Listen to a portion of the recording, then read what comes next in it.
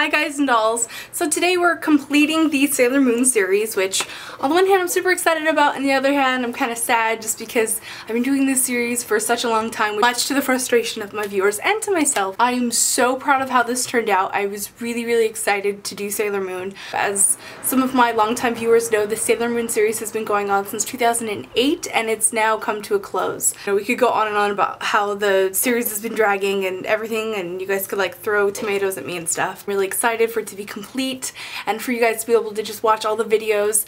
It's such a, um, a really great way to look at someone's progress in terms of makeup application. So if you look back to the first video that I did, which was Sailor Venus, uh, my skills were nowhere near where they are today and I'm not saying I'm the greatest makeup artist in the world. I do have a certain skill set now and I am, you know, at that time I was just a girl who loved makeup and now I actually am a professional makeup artist and you can really see that, you know, that arc. So anyway, I hope that you guys enjoyed this video. I had so much fun with this series, so much fun with this particular video. I really, really, truly love this look. I've been wanting to do a primary color look for a long time, and this is sort of the great excuse to do it. I'll have all the information for all the products that I used on my blog, so I encourage you guys to go check that out and see the other videos in this series.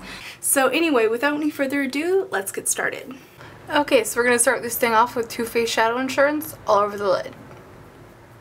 And kind of extend that just a little bit since we're taking our shadows out a little further than normal today.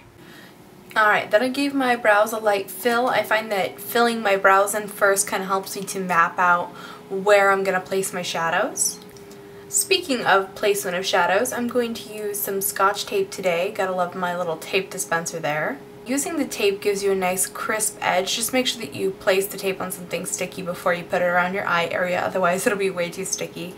Um, but I place it and then I actually stick it onto my eye top to bottom. I find that this actually gives me the smoothest edge and that way you don't end up with bumps and skips like you can. Now we're taking an Inglot shadow. This is 64 AMC and this is just a pencil type brush I've had for years. Unfortunately, it was like a gift with purchase, so I can't tell you where to get it. Sorry. Uh, and we are doing a cut crease. So what I'm doing is I'm drawing a nice curved line, trying to avoid my actual crease because uh, doing so will give me a nice large looking lid area which will make my eye look really big, but then also it'll make it easier for me to have this stark contrast between the black and the yellow. So I'm just building that up. As you can see, this shadow is like crazy, stupid pigmented. It's so amazing. I'm just completely in love with Inglot shadows. um, kind of drawing that, giving it a little bit of a curve. You know, we're going to be going in with some blue shadows, so it doesn't have to be completely perfect, but I just wanted to map out what I was doing, and this creates the base for the blues. Alright, now I'm taking another shadow. This is uh, Inglot's 480. I'm using that with like an angled fluffy blender shadow brush thingy. It's from Sigma, I forget the number of it, but it's kind of like the MAC 275. And in a minute here I'm going to pick up the 275 anyway. Uh, this, this color is kind of like a true blue and it's so pigmented I actually had to wipe off the shadow. It was insane.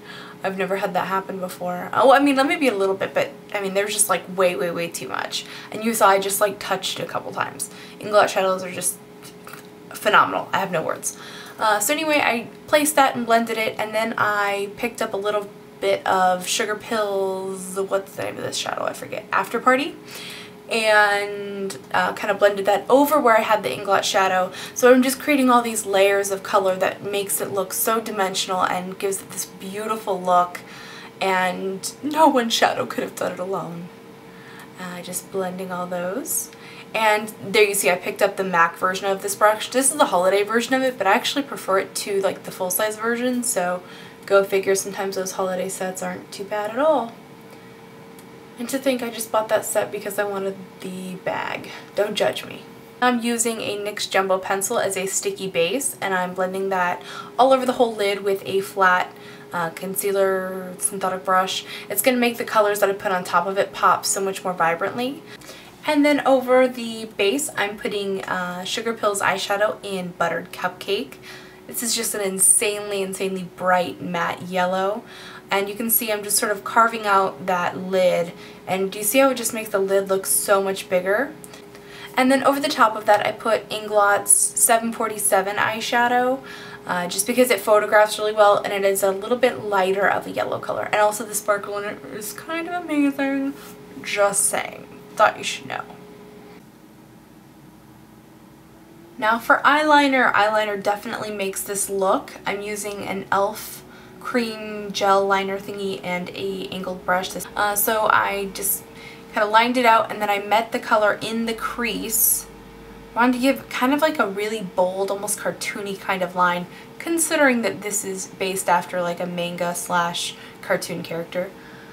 Uh, so as I said, I kind of met my wing in the crease and then curved it around into the crease. And then I used the gel liner to carve out that crease to make it look super crisp and super defined. And then I slightly swept the shadow into the crease. Then I went back with the brush that I used, the black eyeshadow, and then I'd go back in with the gel liner brush to carve out a little bit more of the crease. And then I'd go back with the shadow brush. And I did a whole lot of back and forth, back and forth. And that's what creates that beautiful blended but crisp line. Is just a little bit of this, a little bit of that, a little bit of this, a little bit of that. And that's just pretty much true for any makeup look and never be afraid to invite your fingers to the party. Anyone who says you can't use your fingers for makeup application as long as they're clean, I, I say, you know, why not? Just thickening that line up a little bit. I wanted it to be super, super, super bold. I just love makeups like this where the colors and everything are so bold and intense and just rawr. Alright, and then for a little highlight action, I busted out with my MAC 252 brush and Sugarpill's Tako eyeshadow and just took that right under the brow bone, or I'm sorry, not the brow bone, rather the eyebrow. So I placed most of the color at the peak or the arc, or the arch rather, can't talk today, of my brow and then just added a little bit throughout the whole underbrow, if you will. And then I just kind of share the love all over.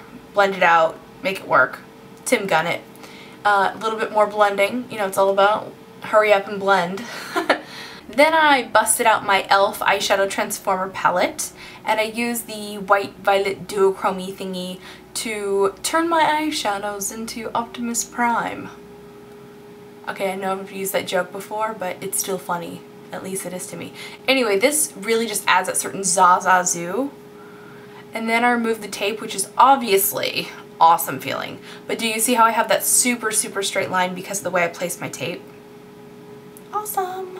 Okay, then I applied some badass lashes. Then I dipped back into Sugarpill's Tako eyeshadow and I used that with a very small shader brush just to kind of lighten up that inner corner of the cut crease just to really make it stand out and look super crisp. Then I took a blue eyeliner. This is from Milani. This is one of their liquify liners, the automatically propelling ones. These ones actually have glitter in them. I've reviewed them and I absolutely love, love, love, love, love them. This one's sort of a royal blue with a uh, purple glitter in it. It's actually really similar to my nail color that I'm wearing right there. You could definitely do a darker color in your inner rim. At this point I didn't in the video, but I did when I went to take pictures of it.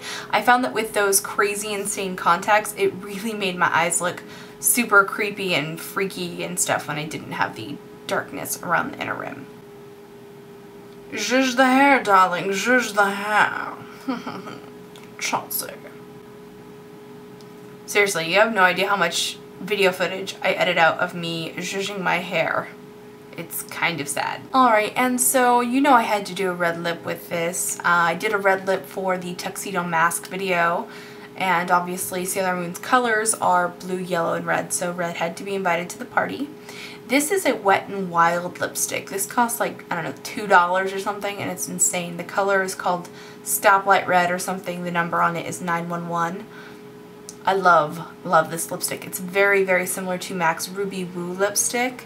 It's just not as matte. Uh, Ruby Woo has almost like a crayon type texture where it's super, super dry and really hard to work with. Whereas this one's a lot easier to apply and I could actually use a lip brush with it.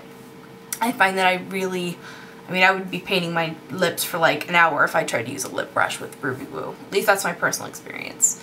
Uh, and then this is another 228 by MAC. I like this one as a lip brush quite a bit. You can obviously use whatever works for you. And obviously I'm lining my lips. I didn't do a liner or even a primer with this. Um, and actually at the intro of the video you can see a little bit of funniness going on because I took a little bite of pasta. My husband cooked dinner. So yeah, definitely wear primer. That's a good thing to do. Don't forget to get those inner and outer corners and get everything all filled in. You don't want to look like you skipped a spot when you do a really bold lip color. I always pay special attention to make sure that my scar is covered. Don't forget to give your lips a nice little pressing together to make sure that everything's set up for success. And with that, we are completed with our look, and that is the end of the Sailor Moon series. So I hope that you enjoyed this video and have enjoyed this series, even though it went on way, way, way too long. And if you'd like to see the other videos in this series, I'm going to go ahead and put a bunch of links in the down description box thingy-majig uh, so that you can find them. And this chair is really squeaky fun times. Uh, really quick before I let you guys go, I just want to uh, show you guys something very special to me, my Sailor Moon doll. Um, her skirt's kind of purple now because she was in a box in the attic for a long time, but I said addict, not attic.